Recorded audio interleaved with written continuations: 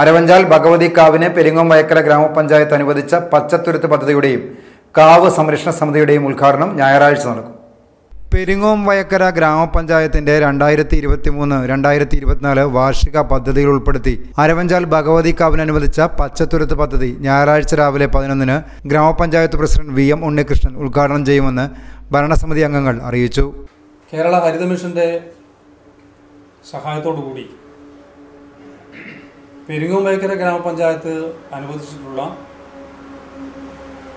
പച്ചതുരുത്തിന്റെ ഉദ്ഘാടനവും ഒപ്പം അരവഞ്ചാലിൽ രൂപീകരിക്ക അരവഞ്ചാൽ ശ്രീ ഭഗവതി കാവിൽ രൂപീകരിക്കപ്പെട്ടിട്ടുള്ള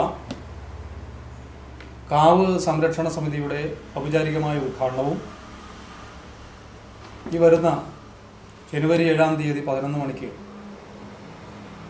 ആദരണീയനായ പെരിങ്ങം ഗ്രാമപഞ്ചായത്ത് president Shri V M Unnikrishnan അവറുകളും അതുപോലെ തന്നെ പച്ചത്തുരത്തിന്റെ ഭാഗമായുള്ള ചുറ്റുമതിലിന്റെ പ്രവൃത്തി ഉദ്ഘാടനം ആരോഗ്യ വിദ്യാഭ്യാസ സ്റ്റാൻഡിംഗ് കമ്മിറ്റി ചെയർമാൻ പതിമൂന്നാം ward member Shri P Raveendran നിർവഹിക്കുകയും.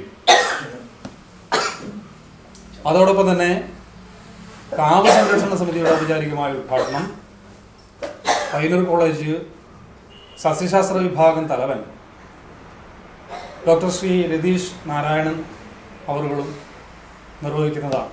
കാങ്കോൽ ആലപ്പടമ്പ പെരിങ്ങോം വയക്കര ഗ്രാമപഞ്ചായത്തുകളിലായി ഏഴ് ഏക്കറോളം സ്ഥലത്തെ വ്യാപിച്ചു കിടക്കുന്ന കാവിന്റെ സസ്യ ജൈവ സമ്പത്ത് വർദ്ധിപ്പിക്കാൻ പച്ചത്തുരുത്ത് പദ്ധതി പ്രയോജനപ്പെടും. പ്രാദേശിക ജൈവ വൈവിധ്യ സംരക്ഷണത്തിന്റെ ഭാഗമായി ഹരിത കേരള മിഷന് കീഴിലാണ് പച്ചത്തുരുത്ത് പദ്ധതി അനുവദിച്ചിട്ടുള്ളത്. കാവിനെ ചുറ്റുമതിലോട് കൂടിയതാണ് പദ്ധതി നടപ്പാക്കുന്നതെന്നും ഭാരവാഹികൾ അറിയിച്ചു. K Balakrishnan Rameshan Poontholan Surendran Kudukkan C K Viswanathan Sathyam Kannoth P. Vijayan P. V. Vinu എന്നിവർ വാർത്താ സമ്മേളനത്തിൽ പങ്കെടുത്തു. News bureau Peringome.